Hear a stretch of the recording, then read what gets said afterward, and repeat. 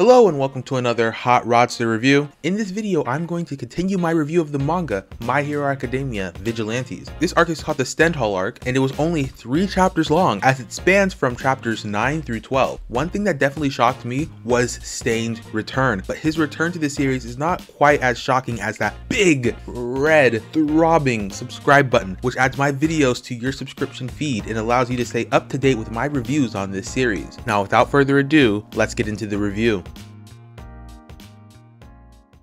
Since this is a prequel series, I don't know if it's accurate to say that Stain has returned. Maybe I should say his origins were revealed since that would be more accurate, right? Either way, I thought it was really cool that we got to see some of Stain's origins get explained since he is one of my favorite villains in My Hero Academia.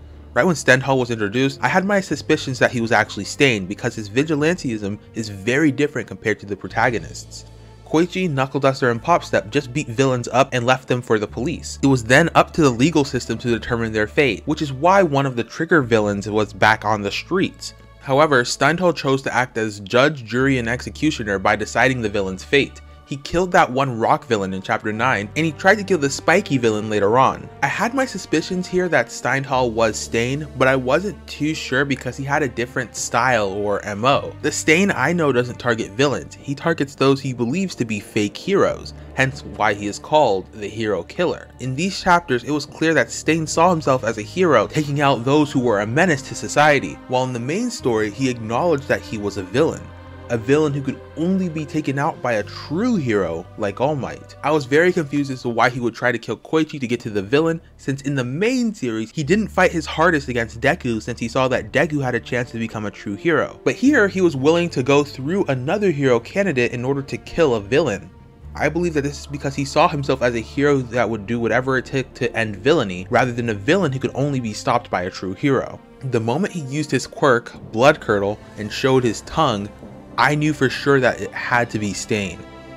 These chapters are where we get to see his ideology start to take shape a bit, and I thought it was both cool and horrifying that he cut off his own nose just to show his own resolve to his ideals. I always assumed that he had just been born without a nose, since we have seen mutations in people that have nothing to do with their quirks. The fight between Knuckle Duster and Stendhal was definitely a highlight for this arc. It became very clear that Knuckle Duster is the All Might of this series, as he always swoops in to save the day like All Might, he even has the same catchphrase, I am here. I love seeing his fights because he is always so brutal. He literally punched Stendhal so hard that he not only shattered his mask, but his entire nose. And he did it in such a stylish way as well with the threat of crossing the line. If this series can keep delivering on action like this or even better, then it will definitely keep me invested. Overall, I guess you can say that I really enjoyed this arc. It was short and this review will also probably be really short as well, but it didn't feel too rushed or anything.